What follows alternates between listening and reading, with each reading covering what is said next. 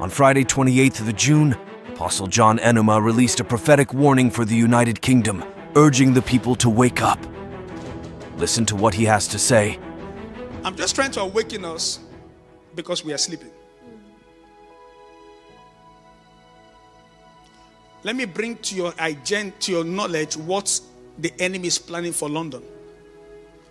The enemy wants to turn London to an to a housing and a, an, an a housing estate and an economic estate. Anything gospel must be flushed out. That is what's happening now. My God. If you don't believe it, then you are sleeping. Go to the countryside.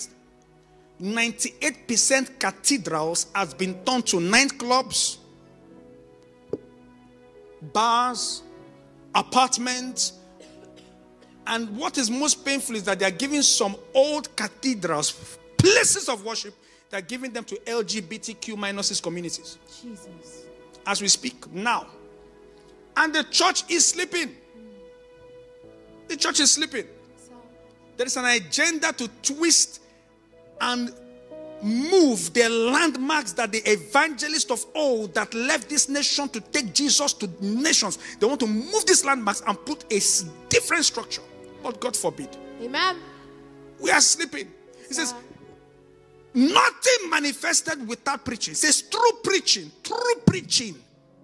The word of God manifested. Sir.